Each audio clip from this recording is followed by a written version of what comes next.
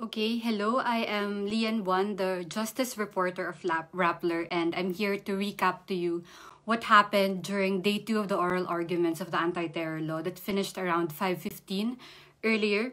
So, the day two started with a bombshell, supposed bombshell for, for from Solicitor General Jose Calida. When he was um, just about to enter his appearance to the court, um, he already said that he had a supervening event that will affect um, the oral arguments and the resolution of the entire case. And tell you, um, mind you, we, we there was a bit of a thriller about this because we had to wait before he could tell us what the supervening event was. He said he had video clips, he said he had transcripts and affidavits.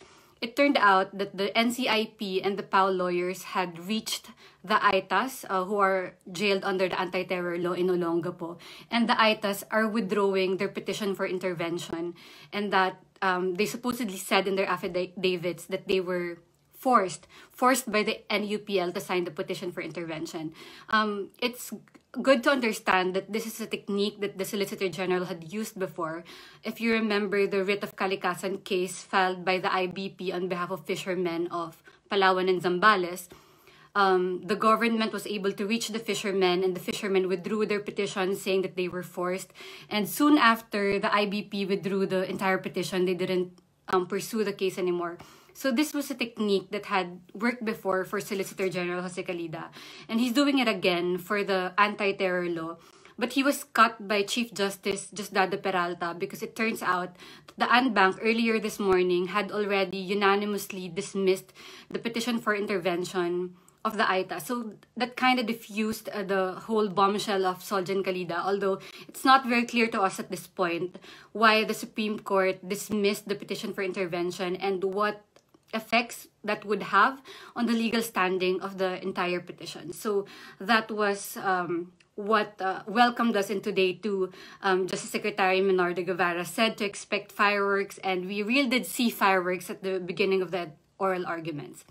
For the substantive part of the oral arguments, uh, free speech took front and center in today's oral arguments. It started with Justice Marvic Leonen, who called to the rostrum again, um, UP professor John Molo. If you remember last week's oral arguments, they had a steering exchange, the both of them, um, both from UP.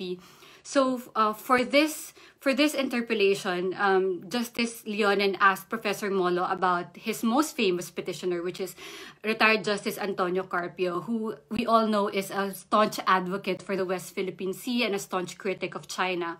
And so, very coyly, uh, Justice Leonen asked Professor Molo, when did Justice Carpio stop advocating for the West Philippine Sea? And Professor Molo had to ask him to repeat, uh, did you mean start or did you mean stop?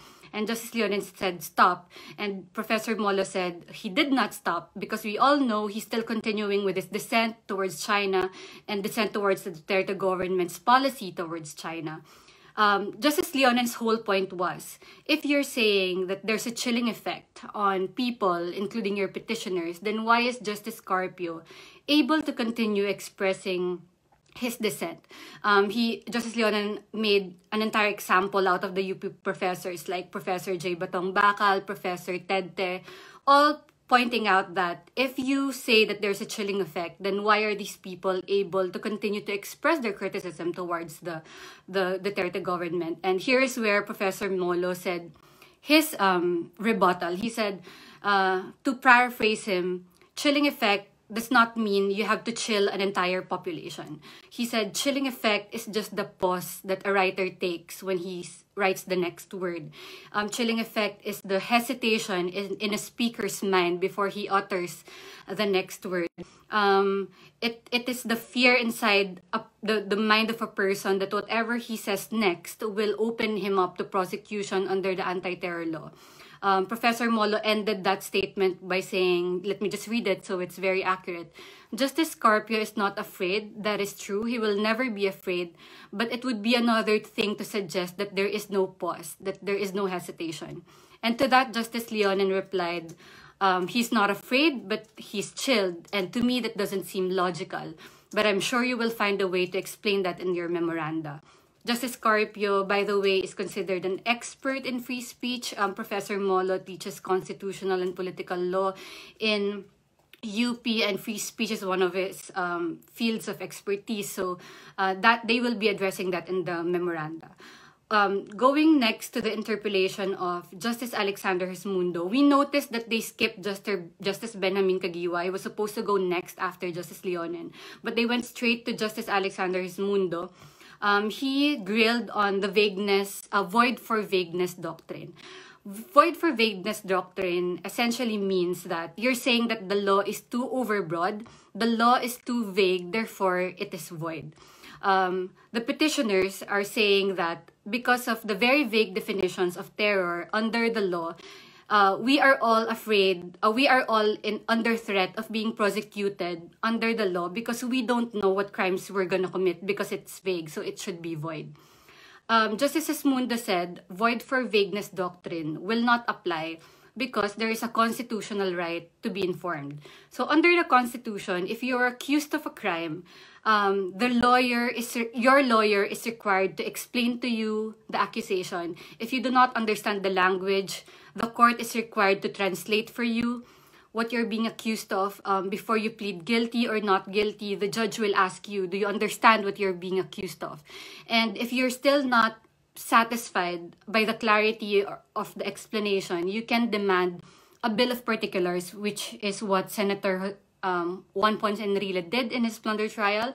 So Justice Gesmundo is saying that with all these remedies, with all these explanations being afforded to you, then um, you are informed. You will always have the right to be informed, and therefore, there is no void for vagueness. And to that, um, uh, answering that was FLAG chairperson Attorney Chel Diokno, who is a veteran litigator in free speech cases. He said that void for vagueness is different than the right to be informed. Um, right to be informed is a right to be to know what you're being accused of and what you're in trial for. While void for vagueness is uh, refers to the right of every citizen, all of us, to know what the crimes are and for law enforcement to have a clear standard what the crimes are so they know what they're arresting you for. It's basically the right of every one of us to know what acts are punishable precisely so we could avoid doing those acts and precisely so we don't reach the point where we are to undergo a trial. So that uh, there there were also several points raised um, by Justice Gesmundo, including because in the old law, if you are acquitted, if you were charged of terrorism and you were acquitted, the government has to pay you 500,000 per day that you were detained. That was removed in the anti-terror law. So the petitioners are saying that um, that is unfair because we no longer have the right to be compensated. Justice Gesmundo said, well, Article 35 of the Civil Code um, enables you to sue for damages if you are wrongly accused. So what's what's the problem? Uh, you still have a right to be compensated. Uh, that was answered by Bangsamoro lawyer, attorney Algamar Latiph. He said that in the old law, it's automatic. If you're acquitted, there's a set amount of 500,000 pesos and you don't have to do anything else because the only requirement is that you are acquitted. Uh, they continued in that line of questioning. Justice Ramon Paul Hernando uh, also got the chance to interpolate. He was interpolating on the point of designation. To remind all of you, uh, designation is a power by the Anti-Terror Council to de designate a person or a group of being a terrorist without a full trial. Um, petitioners fear that this will lead to arrests.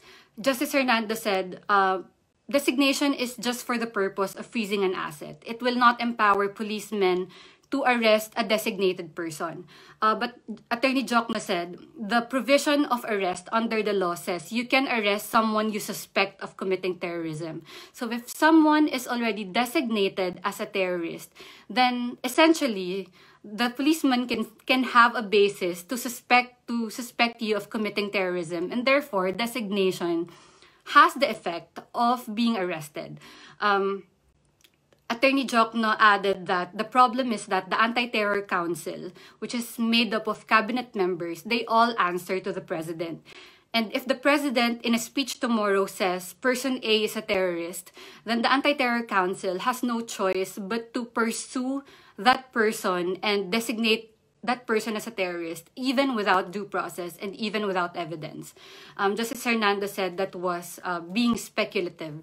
This was the line of questioning, it was, and it was getting interesting but um, Chief Justice Peralta had to cut it because it was already 5.15 and just as the last day, they were determined to finish it on time. So it was time to adjourn. Uh, Justice uh, Chief Justice Peralta said that the oral arguments will continue next Tuesday, February 16, wherein they expect all the petitioners to be finished and that they will have time to interpolate also Solicitor General Jose Calida. Uh, before the end of the oral arguments, Chief Justice Peralta issued a warning to the lawyers and to their petitioners not to entertain questions and interviews from media anymore. It was not concretely a gag order, but it has the effect of a gag order because if a Chief Justice says that, then um, understandably the lawyers and the petitioners will no longer grant interviews to the media. So that was what made up day two of oral arguments. Uh, if you still have clarifications, we have a live updates page. It's available on rappler.com.